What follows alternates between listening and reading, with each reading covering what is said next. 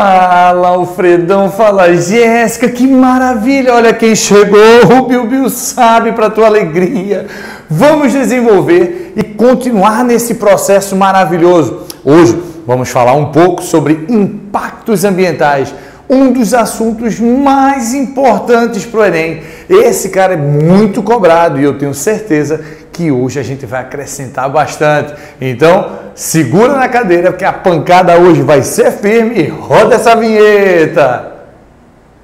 Maravilha, meu povo, cheio de alegria, todo animado para que a gente desenvolva ao máximo a sua biologia.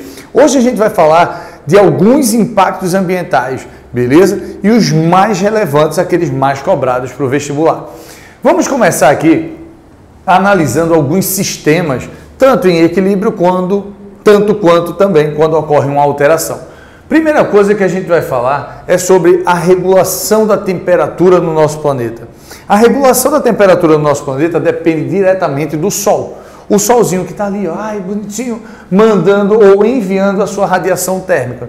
Essa radiação térmica penetra no nosso planeta. Lembre-se que o nosso planeta apresenta uma região chamada de atmosfera. E essa atmosfera, ela contém gases. E esses gases são importantíssimos. A nível inicial, quanto à radiação, um carinha importantíssimo aqui para gente é o tal do ozônio. Galera, o ozônio é um gás à base de oxigênio e esse cara é importantíssimo por quê? Porque ele contribui, ó, com essa, esse retorno. Ele impede que toda a radiação solar entre no nosso planeta.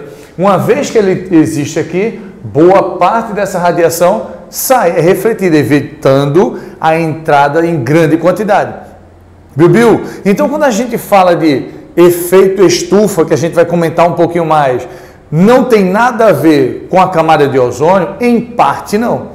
Porque a camada de ozônio ela vai, vai funcionar para a gente aí como uma barreira, né? como um protetor solar do planeta. Fechado? Quando a gente tem um comprometimento na manutenção desse ozônio, essa camada pode ser degradada. E se ela for degradada, a quantidade de ozônio aqui diminuindo, qual é o problema? Se é ele quem impede a entrada desse, dessa radiação solar, consequentemente, se eu tenho menos, entra mais radiação. Isso pode contribuir para o aquecimento global. Beleza isso? Porque se entra mais radiação, o planeta absorve mais, consequentemente esquenta mais. Fechado? Então cuidado com isso. Meu Bill, quem contribui para a degradação da camada de ozônio? Alguns gases poluentes, beleza? e um carinha que é muito conhecido chamado de CFC. O CFC é um carinha que vai ó, atuar junto com o ozônio e degrada ele. No que degrada ele, isso diminui a quantidade de ozônio, contribui aí para uma entrada maior da radiação. Show de bola? Tranquilo? Mas observe o seguinte, essa radiação que entra, ela é importantíssima para manter a temperatura do nosso planeta equilibrada. Beleza isso? Para esquentar o nosso planeta. Só que boa parte disso que chega e bate no solo retorna para a atmosfera. Ou uma parte disso consegue sair, outra é mantida, volta para cá. Então entenda que existe uma manutenção dessa radiação aqui dentro. Quem faz isso? A atmosfera. A atmosfera com esses gases vai funcionar como se fosse uma estufa, impedindo que boa parte desse carinha aqui saia. Isso faz com que o nosso planeta tenha uma temperatura média equilibrada. Como assim, Bill Já pensou se não tivéssemos a atmosfera? Tanto a radiação entraria em grande quantidade, como também o que? Se perderia com a, o cair do dia.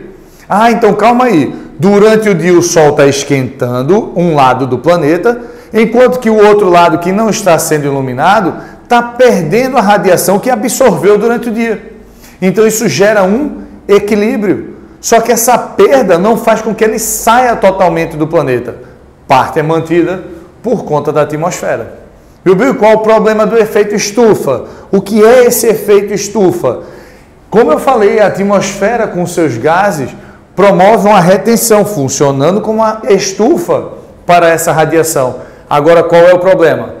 Gases como o CO2 e o metano, eles vão contribuir para o aumento da camada de estufa ou desses gases atmosféricos que funcionam como uma estufa. Então raciocina comigo. Se o processo natural da estufa é segurar essa radiação, se eu tenho mais desses gases, eu retenho mais.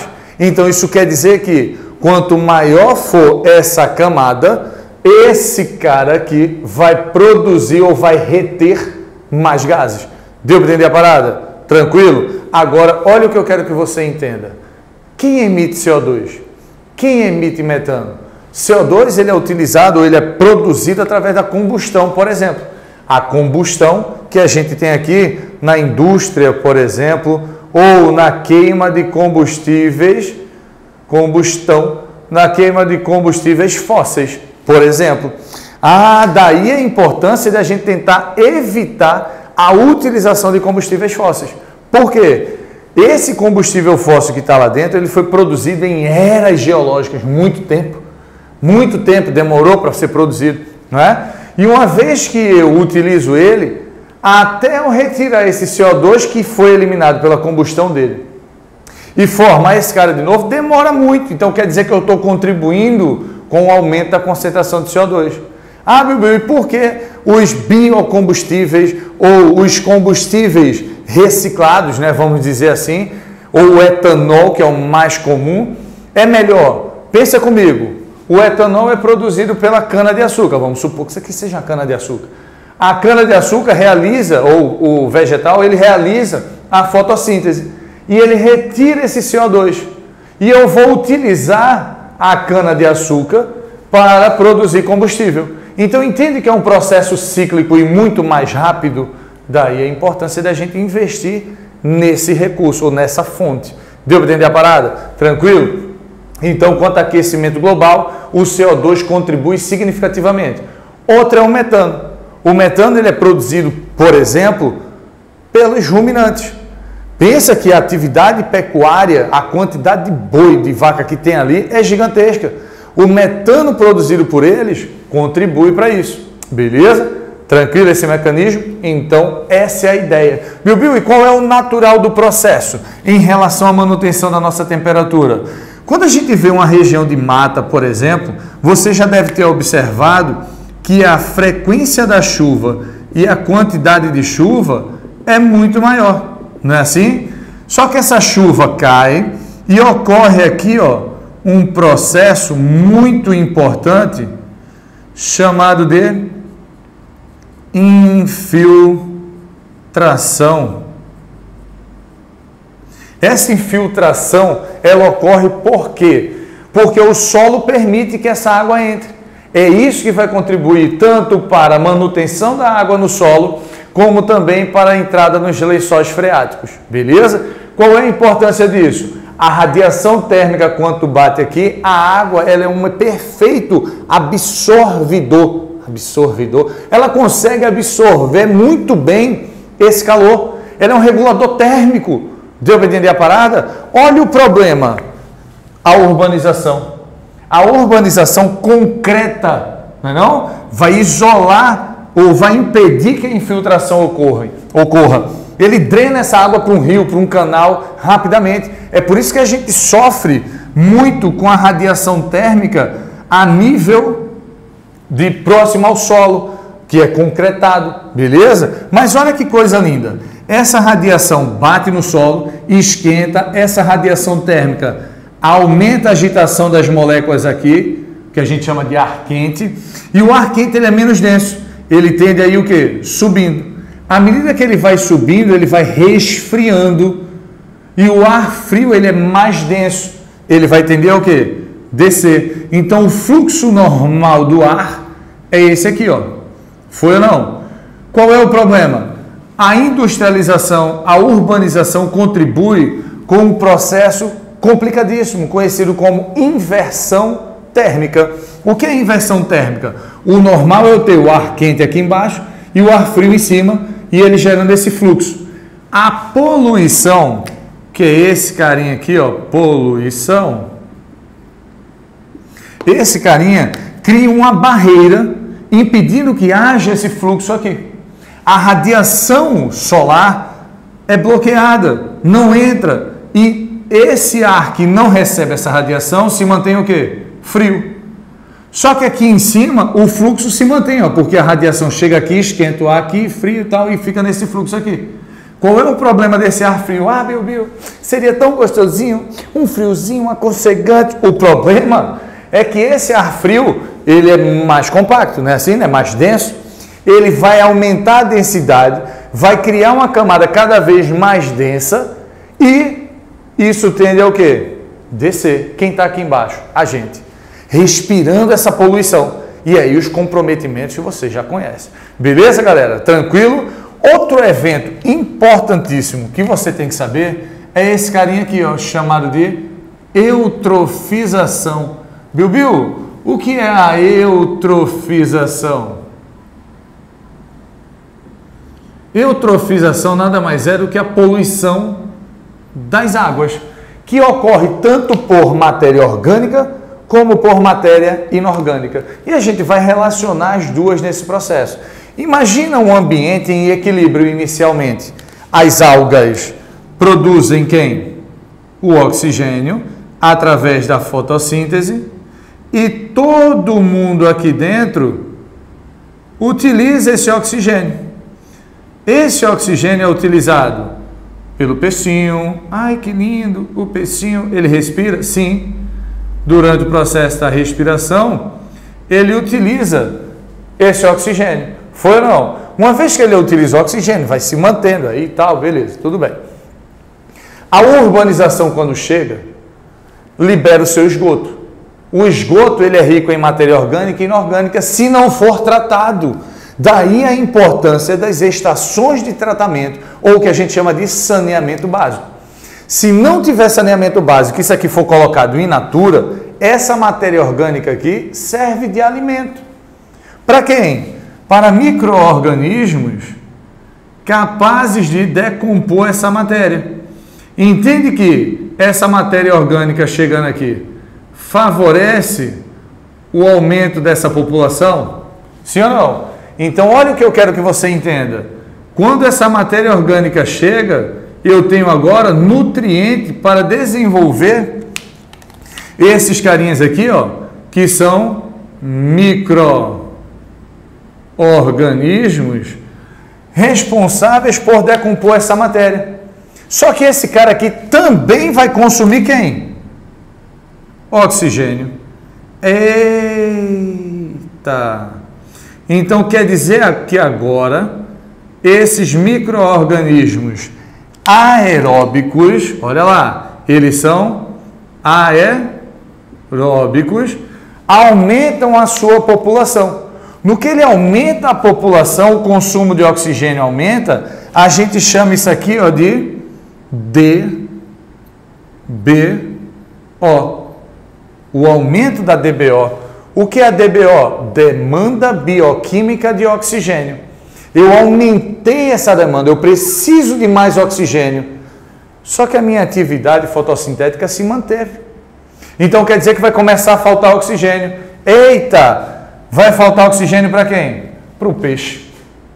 É por isso que a gente vai dizer que ocorre a morte dos indivíduos sensíveis. Como assim, Bilbil? Sensível. Sensíveis são aqueles seres que não toleram variações significativas do ambiente. No caso aqui, oxigênio. Então, se eu interrompo ó, esse fornecimento de oxigênio, quem vai morrer? Ó, ó. Dan, dan, dan. Dan, dan, dan, dan. Deu para entender a parada? Morreu. Só que olha o que está acontecendo. Eu estou cada vez mais tirando oxigênio. Se a gente observar o processo de fertilização do solo, que seja também a contribuição dessa matéria inorgânica aqui aumenta e favorece também um outro processo. Isso aqui vai criar uma condição anaeróbica no ambiente. Como assim, Bilbil? Eu não estou tirando oxigênio? Tá. Se eu estou tirando oxigênio, eu estou criando uma situação anaeróbica. Então, isso vai favorecer, por exemplo, o desenvolvimento de micro-organismos, agora o que? Anaeróbicos. Olha lá, ó. ou anaeróbicos facultativos. E esses caras aqui começam a desenvolver. Ó, anaeróbico. Começa a desenvolver. No que ele começa a desenvolver, ele vai utilizar também, ó, esses compostos aqui. E uma vez que ele utiliza isso, a população cada vez cresce mais. Cresce mais e vai crescendo e vai crescendo até que a gente começa a observar que o ambiente começa a formar aqui, ó, meio que uma película verde. Não sei se você já viu. Forma uma camada aqui, ó, verde, a água fica verdinha. Aí você pode pensar: "Ai, meu Deus, que lindo! Ele vai deixar a cor da água verde com azul, virou azul piscina, um verde piscina. Não, não fale isso não. Não fale isso não. Beleza? Qual é o problema disso? Isso aqui vai gerar uma barreira que impede a entrada da luz. Eita! Se não entra a luz, esse cara aqui consegue realizar a fotossíntese? Não, então, ó.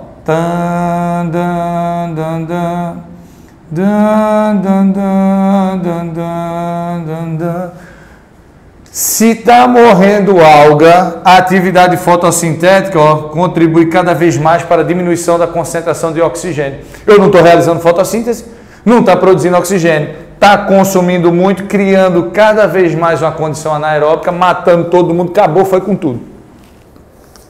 Tu entendeu a parada? Então, esse é o processo paulatino em relação à eutrofização. Bilbil, melhora isso para mim? Vamos melhorar? Primeira coisa que acontece aqui nesse evento, olha aqui, ó, para eutrofizar. Primeira coisa, aumento da concentração de nutrientes. Sim ou não? Se eu tenho mais nutrientes, as minhas populações tendem a aumentar. Mas principalmente, quem? Aumento da população heterotrófica anaeróbica. Foi? Aumentei a população heterotrófica anaeróbica. Isso aqui, desculpa, aeróbica. Aeróbica. Não é assim? Aeróbica, fica firme aí. Era para ver se você estava atento, fica tranquilo. Olha aqui, ó.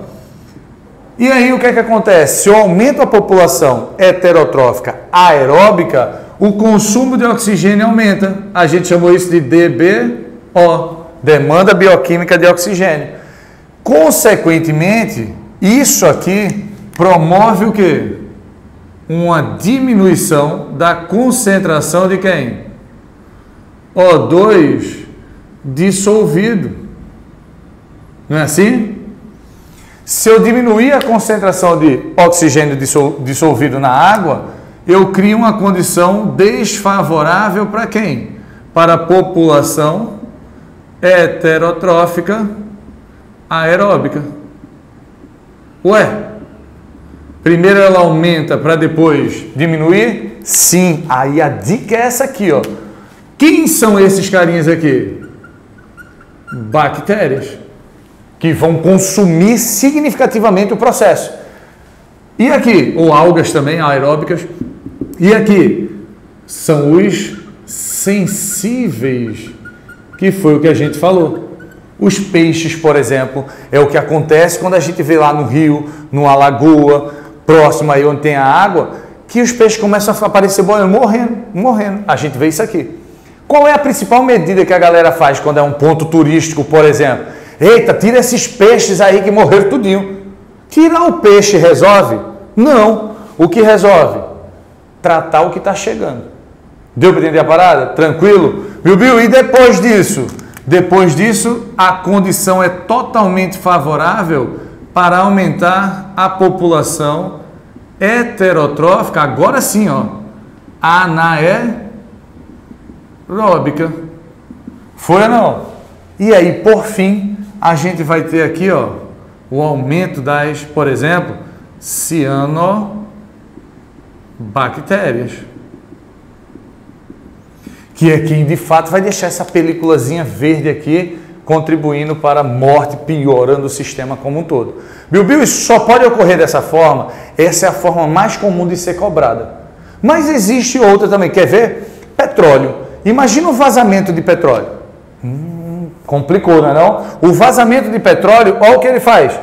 Cria uma película preta aqui, sim ou não? Impede a entrada de luz. Se não tem luz, não tem fotossíntese. Diminui o oxigênio, mata todo mundo e... Deu para entender? Que a sequência, que a ideia do processo de eutrofização consiste principalmente nisso aqui, ó, nesse tópico aqui do aumento da DBO, que leva ao quê? A diminuição da concentração de oxigênio. Beleza, meu povo? Chegamos juntos até aqui. Espero que você tenha entendido e absorvido o máximo dessa aula, porque é um assunto extremamente importante. Tamo junto se liga aqui porque de biologia o Bill sabe e eu tenho certeza que você está crescendo. Vem comigo!